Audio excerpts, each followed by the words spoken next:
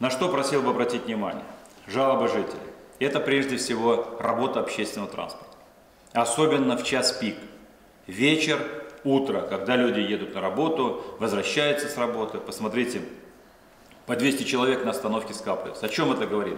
Необходимость есть для того, чтобы в час пик добавить дополнительные единицы транспорта.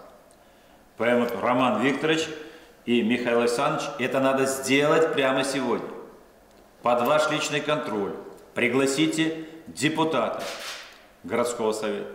Пригласите а, общественную палату городскую. Озадачьте, чтобы они начали мониторить эти вопросы. Пусть побеспокоятся о жителях. Поэтому качество работы общественного транспорта просил бы взять как приоритет.